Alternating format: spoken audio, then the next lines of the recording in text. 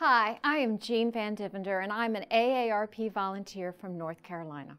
This is AARP Volunteers Training Volunteers, Twitter 101.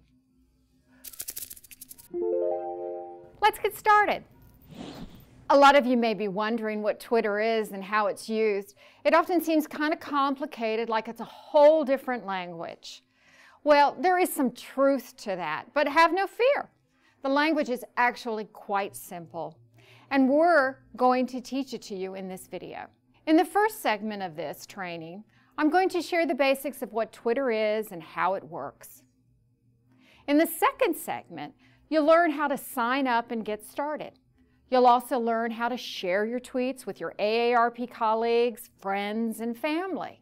In the third segment, you'll learn tips on how to use Twitter related to your role at AARP. So let's get started. Twitter is an online service that allows users to share messages on their computer or mobile devices known as tweets.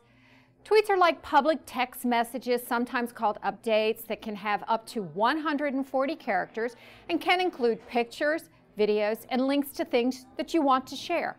Twitter helps people discover and share information with friends, family, and colleagues. These days, many major news stories, political events, celebrity gossip, and even jobs are posted on Twitter before they ever hit the television, newspaper, or radio. Twitter also lets you connect with people that are not already connected to you who want to communicate with or influence.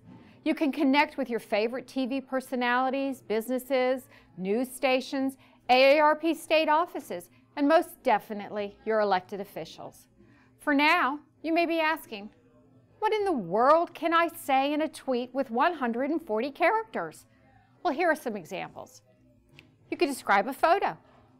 You could participate in an online discussion. How about lobbying your elected officials? Or maybe share an article with a brief commentary. Let people know what you're doing. Share your opinion on an issue.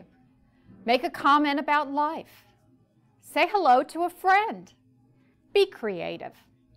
And the list goes on. As long as you stay within the 140 character limit, what you choose to share is up to you. Why would I want to tweet? Twitter has become a mainstream communication tool with hundreds of millions of users who send billions of tweets every week.